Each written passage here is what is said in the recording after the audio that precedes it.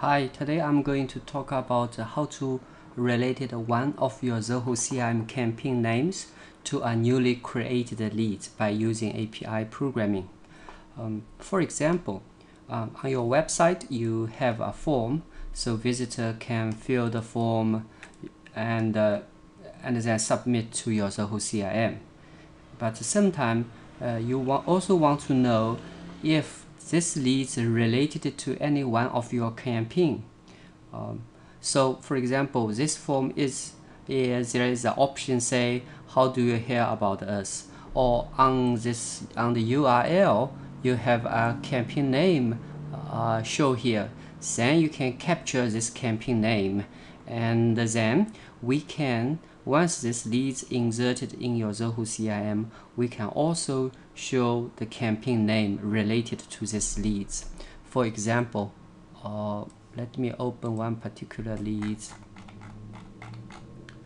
For example, this is my testing leads. Okay, so I, I'm going to see okay this one for example this leads is inserted from your web form I also want to see the campaign uh, how the, the, the leads uh, heard about us and related to this campaign.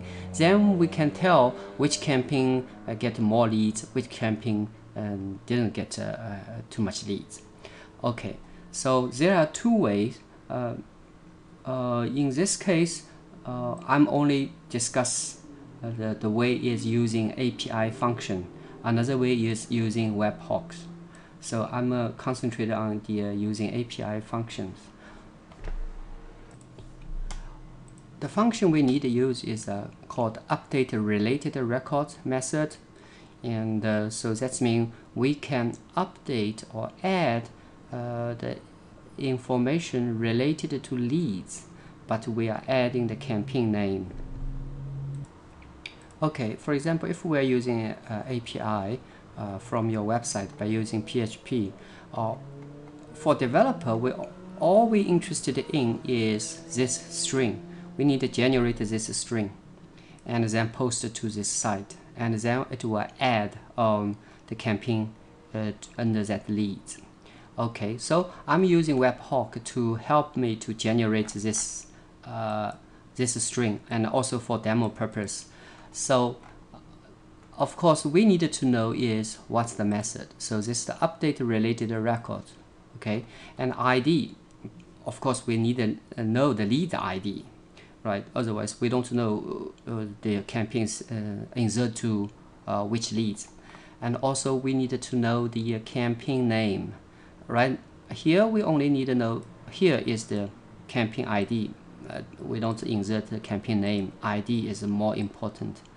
Okay, so and of course here is the uh, regular values. I this is the token value you know you will get uh, from uh, uh the uh, website. You can search Zoho CRM authtoken and to get this value. Um, and also related module is campaign. So after that, this is the value. This is the string we get.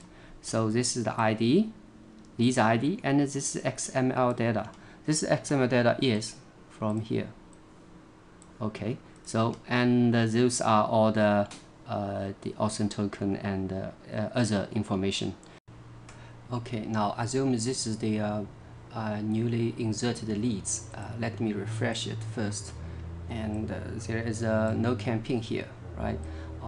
but if I copy the the string I just created from the webhook. Uh, let's see. Okay, this is the string I copied in the URL, and uh, there is also a token I hide uh, partially. So let's uh, let me enter and see.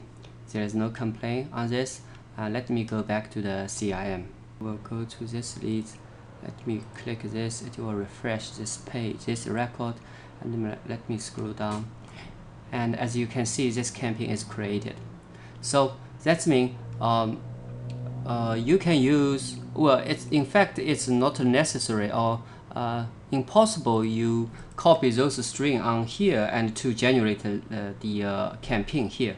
Uh, but the, the idea is uh, if you have your the programmer and they can make uh, those string uh, from your website server and under let's say PHP or C Sharp, they can make that string and uh, write some code and push uh, to those campaign related to this leads. Of course, before we do that, we need to know the leads ID and then we need to know the campaign ID, which is not an issue at all for, for programmer or for a developer to get that before uh, uh, to run that API function.